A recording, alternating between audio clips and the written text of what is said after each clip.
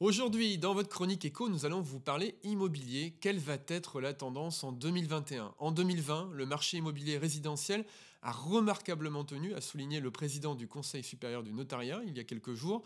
Le nombre de transactions, effectivement, n'a baissé que de 5% sur un an à fin septembre.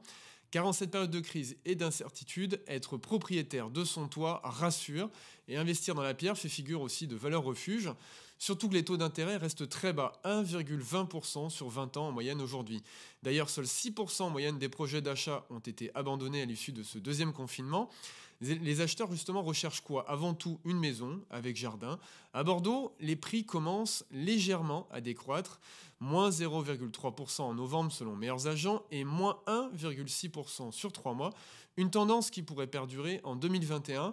L'ampleur de la crise est devant nous, le marché immobilier devra s'ajuster à la solvabilité des ménages. Les prix pourraient baisser de 5% en 2021 dans quelques grandes villes. C'est ce qu'estime justement Henri Buzy-Cazot, qui est le président de l'Institut du Management des services immobiliers.